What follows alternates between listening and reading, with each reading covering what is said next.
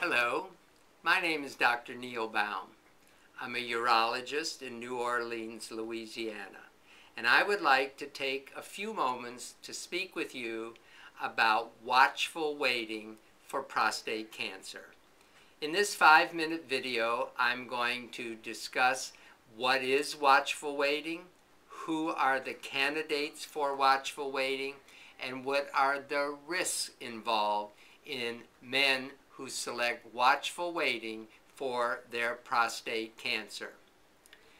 Prostate cancer is a very slow growing tumor.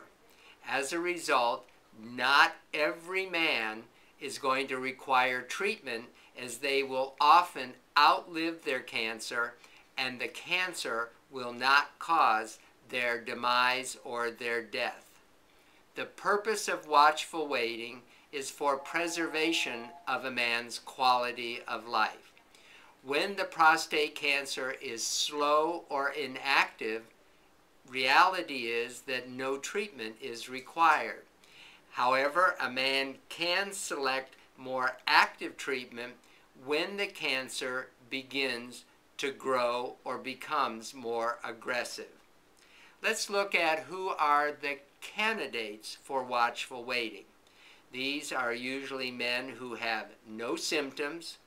The cancer is not very aggressive and is likely to be slow growing.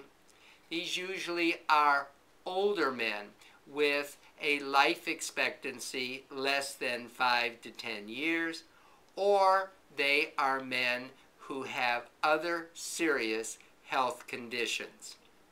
So what's involved in a watchful waiting program? Watchful waiting requires a mandatory close follow-up, being seen by a physician every two to four months. It requires a regular digital rectal exam, a PSA blood test, and possibly a repeat prostate gland biopsy. There are risks associated with watchful waiting. The cancer may progress and spread to other parts of the body.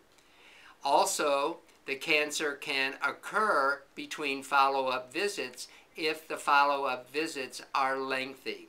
And finally, watchful waiting may make it more difficult to treat the prostate cancer.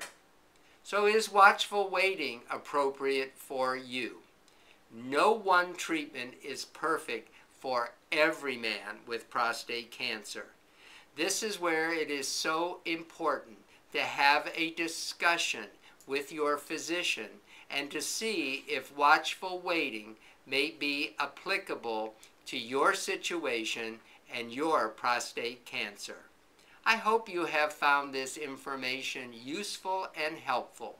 If you would like additional information, I recommend that you go to my website, www www.neilbaum.com.